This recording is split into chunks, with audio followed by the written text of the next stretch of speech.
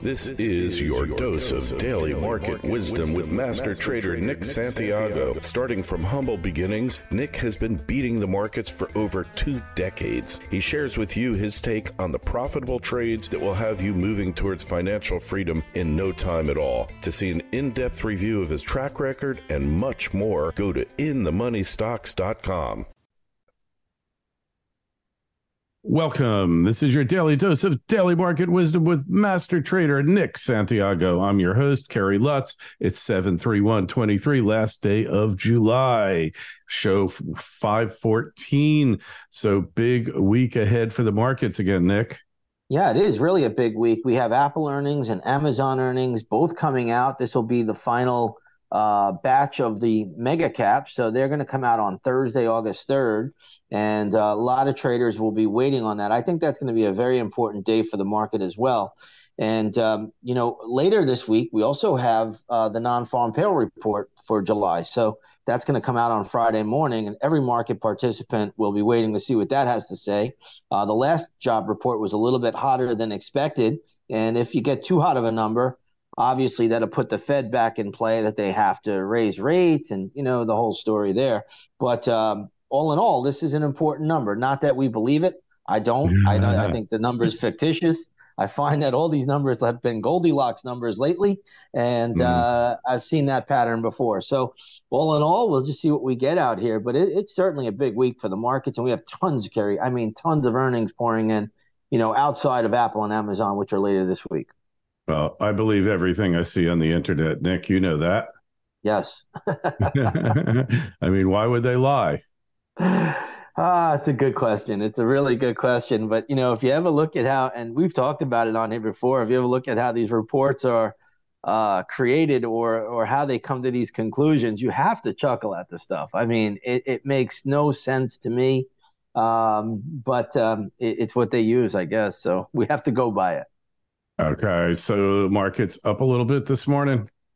Yeah, we have a, a slightly positive day out here. Believe it or not, the Nasdaq 100 is slightly negative, but the composite itself is basically flat. And then you have the Dow up a little bit. The big winner of the day right now is the Russell 2000, and the small caps have been on fire. And today uh, they're up again by about uh, a little less than 1%. So small caps uh, leading the charge today. And uh, it's the final day in the month of July. Often, when you have a strong month, um, the end of the, uh, the the last day is usually positive, not by much, just slightly positive, and that's kind of what we're seeing right now.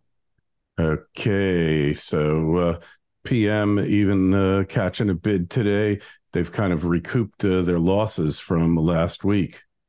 Yeah, precious metals. I got to tell you, they, they just seem resilient. With every time I think we're in for a good dip, because I'm trying to get back into these precious metals, they just don't seem to let me buy on the cheap anymore. And uh, today you have gold up a little bit. You know, it's not a huge day by any stretch, but it's up four tenths of one percent right now sitting at around um, the nine, just under 1970. But the big mover today, Kerry, is silver. Silver's on fire. It's up almost two percent, one one and three quarters percent right now, and it's flirting with that twenty five dollar level. And you know, right now this silver uh, trade, I mean, I'm I'm itching to get back into this a little bit lower, but it just does not want me to buy this on the cheap. So I'm keeping the uh, the pattern on the radar. It remains above the 20 day moving average. I mean, technically, silver is holding up very, very well. Now, there is resistance at 25.50 on silver futures. So that's going to be the big level here. But watch this pattern for silver. If this thing starts to consolidate a little bit more, it's going to turn these charts up. And um, that's going to be setting up to go higher without going lower. And I'm hoping to see it go lower. But like I said, it's just not letting me in. All right. And uh, oil, oil has been on a tear it's uh, back up over 80, 80 bucks uh, the barrel. Yeah, oil right now sitting at around 81.40, trading higher again today. And um, I have upside to around the 85 to 85.50 area. So I think oil is going to continue to climb here, even if we do get a few pullback days. But uh, currently, uh, oil pattern has, has started to move higher, and I think you got a little bit more upside to go. I really think the 85 level, though, is going to be a sticking point for crude. Uh, but you know, Kerry, nobody's talking about this, but you know what's on the rise again? Gasoline. Mm-hmm. And um, you know, again, I know all the economic data says, "Whoa, you know, no inflation, we're going to go down." That's what they sell us on the financial news networks on TV. But Um, now, I mean, you're just looking at higher oil prices. I filled up my truck the other day and I said, whoa, we're back up here again. Um, and that's going to start to hurt the consumer as always. So uh, gasoline prices on the rise. Yeah. Yeah. Well, I stopped filling up uh, when I got my EV. So I'm a little divorced from that, but I do watch the uh, prices, the indexes, and they've been heading up again. And so uh, Bitcoin uh, not doing much today. Nah, Bitcoin is kind of um, a little bit lackluster today, but I, I, have a few comments to make about Bitcoin this week, which I think are pretty important as we go into the week. Even though it's flat at the moment, um, the daily chart is very, very sloppy. So when you look at that daily chart, it really is ugly. It's not a pretty chart. It's all over the map. I wouldn't even rule a move down to 27,500 on Bitcoin futures, and right now it's sitting at around 29,500. But um, that chart is ugly. But here was something, an observation I caught on Friday when I looked at the commercial money. They have gone back to the short side. They were overwhelmingly uh, long Bitcoin, uh, but now the commercial money has flipped back to the short side. So I think everybody should pay attention to that.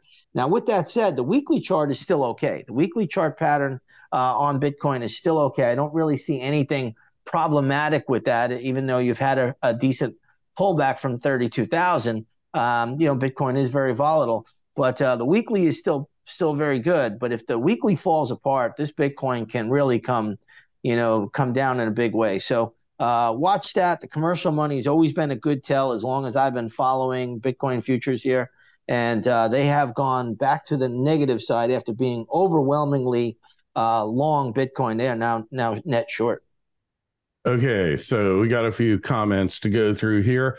Um, this guy, uh, MGR 8440, nice interview. However, too bad he wasn't asked about his 50 US dollar per barrel crude prediction. He's been wrong on this one a lot. Well, the, so just to clarify that, and, and other people have asked me that too. So if you're a member of mine, you know we're not looking for $50 crude until we take out the May lows. And if that person goes back and looks at our archive shows on here as well, the same thing was said on here, you know, countless times. So, you know, again, um, I just love how people want to prove other people wrong. That's, the, I guess, the world we live in. But you have to take out the May low pivot. The May low pivot gets exceeded on a closing basis, especially a weekly closing basis. Mark my words, we're going to go down into that low $50 handle. So uh, be aware of that. And right now, give it give it the upside to 85. That's your sticking point. Mm-hmm. All right. Okay. I'll buy it. Hey, so here's a guy. He said, I grew up in Webster, New York back in the early 80s. At night, my friends and I would wail on our motorcycles in the Xerox industrial area. It was a big, wide road with nobody on it. ah, there you go. There you go. Uh, so you know, it's amazing. We just talked about Xerox right the other day, and how mm-hmm. you know it was the computer company of computer companies, and all these other companies, whether it's Microsoft, Apple, you know, they all stole the technology from Xerox right from under their nose, yeah. and uh, here we are. But uh, you know, Xerox was the uh, it, it, once upon a time it was the king dog out there. Mm hmm. Yep. God, this one guy, man, he's obsessed with your call about uh, about oil, fifty dollar oil, and it could easily go down there again. No one is expecting it to trade negative when it did, right? Yeah, and and oil is very very um, volatile, right? So we know I never in my lifetime saw ne- oil trade negative like it did in 2020. Never never mind going negative 40, right? So I mean, I wish I had a big pond in my backyard. I would have loaded up on it, but. Uh, Mm-hmm. You know, nobody knows that's going to happen. And and just so the guy knows too, even though I'm not wrong on this call yet, because um, you know I give you stipulations, and I tell that to my members too. I say, hey, you know, if we break this level, this is where we're going to go to next. And if we, we break that level, this is where we're going to go to. And then this is where we're going to be buyers. And I tell them the reasons. Obviously, he's not a member. He's just looking for free information. But that's okay. That, that's what we want. We want people to come out and be intrigued and then ultimately maybe they want to come and join the program. But um, all, all, in all, when you when you look at crude oil, it, it's a volatile instrument. It's nothing, and all commodities are. So you know, just be aware of that. They, these things don't go up or down in a straight line, but if they take out certain levels, they'll move higher. Just the same way I told my audience, uh, my members, uh, if if, if uh, crude gets above 75, it's headed to 85. You know, on a weekly close, and it did that. So that's where it's headed next, and then you know we'll see it stall out at that 85 level. All right. So uh, this one came in a while ago. Please ask Nick if it is too late to get on board with Wheat, W E A T, and UNG pump. Well, the UNG, I don't think it's too late. I think you could still do that. That's a monthly chart pattern. It's taken a while to really play out. We've been in it several times uh, throughout this year and made some good money. Now, um, if you want to get into wheat, I would wait for a setup on the chart. So I got into wheat Kerry at the dead low on the 31st of May.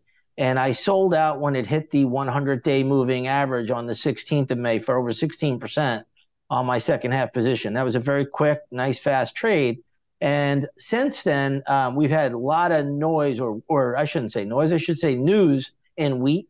And you know, you have Russia bombing uh, a wheat field in Ukraine and stuff like that. So wheat's been all over the map.